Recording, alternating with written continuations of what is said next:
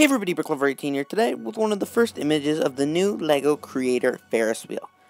TheBrickFan.com just posted this Ferris wheel image to his site, and I thought I'd share it with you today. This set will be in the LEGO Creators line, and it looks very cool. The set is supposed to be released around May 15th to VIP members, and then again on June 1st to the normal public.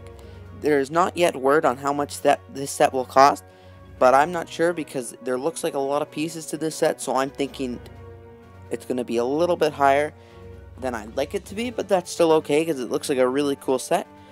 Unknown more details, but it looks like you get several minifigures in the set, and it looks pretty big. So let me know down in the comments below what you think of this set. Thanks everybody for watching, I hope you have a great day. Don't forget to check out my YouTube channel for my other videos.